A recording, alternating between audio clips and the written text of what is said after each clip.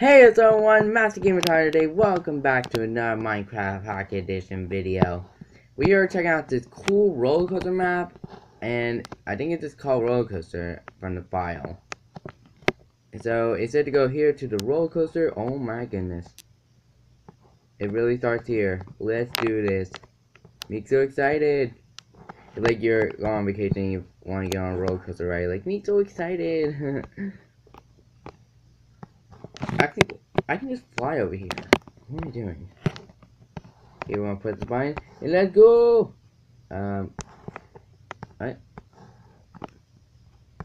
What? Okay, I think it works now. What? Did he mess one up? Oh, get in it. Get in it. Here we go. Oh, like a real roller coaster. Can you go slow at first? Oh my goodness. Oh my goodness. Yo! Here comes the drop. Whoa! Oh, we're going to a mine. I saw that from the screenshots. Oh, this is awesome. Oh, goodness. Oh, goodness. I can't even see right now. We're going up. Up, up, up, up. Now we're going to down.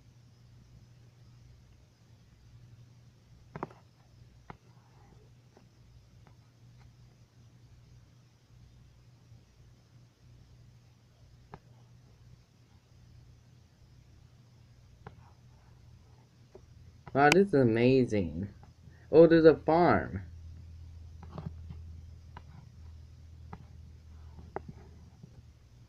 Oh goodness, we're really getting into a cave. Oh my goodness. It looks amazing. What in the world? How in the world did they build this? I'm really curious how the map makers do this stuff. Must take them months or even years just to make one map. That's crazy. Oh my goodness, we're going down. Now going back up.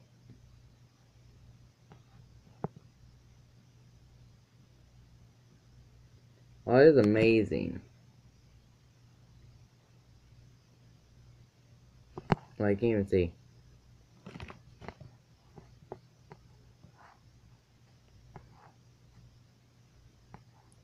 And we're going down, we're going straight, we're going down, we're going up.